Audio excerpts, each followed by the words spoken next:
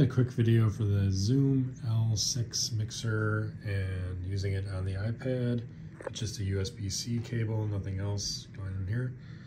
I go in and I'll show you that we have all the inputs here. Now, the, the key here,